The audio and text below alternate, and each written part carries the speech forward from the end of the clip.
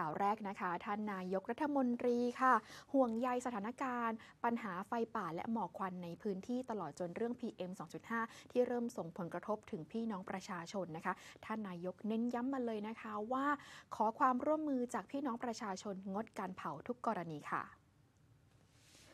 พลเอกประยุทธ์จันโอชานายกรัฐมนตรีติดตามสถานการณ์หมอกควันไฟป่าอย่างต่อเนื่อง ห่วงกังวลเรื่องค่า PM 2.5 พุ่งสูง กระทบต่อสุขภาพของประชาชน จึงได้สั่งการให้ทุกมาตรการเพื่อลดจำนวนการเกิดไฟป่า ขอความร่วมมือทุกพื้นที่งดการเผาทุกกรณี 89 วัน ตั้งแต่วันที่ 1 กุมภาพันธ์จนถึงวันที่ 30 เมษายน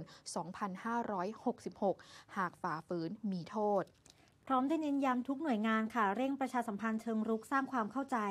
และขอความร่วมมือประชาชน และให้หน่วยงานที่เกี่ยวข้องประชุมหารือแนวทางการป้องกันและรับมือ เกี่ยวกับสถานการณ์ไฟป่าของแต่ละหน่วยงานค่ะ เพื่อการถอดบทเรียนปัญหาไฟป่า